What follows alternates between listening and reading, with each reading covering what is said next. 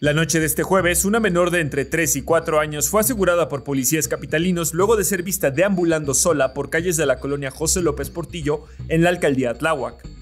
La menor fue atendida y trasladada por policías a instalaciones de la Fiscalía de la Ciudad de México, donde permanecerá en resguardo mientras sus padres son localizados e investigados por esta posible negligencia.